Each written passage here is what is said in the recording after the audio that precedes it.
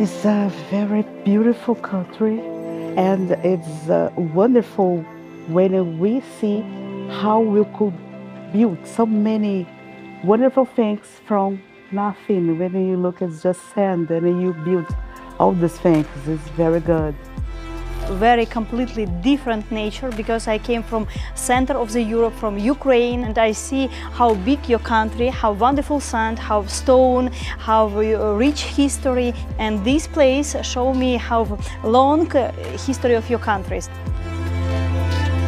I really, really enjoy the fortress as itself, the exposition as itself, and the cultural and the history which, which is shown here in the castle. So it's amazing. It's amazing.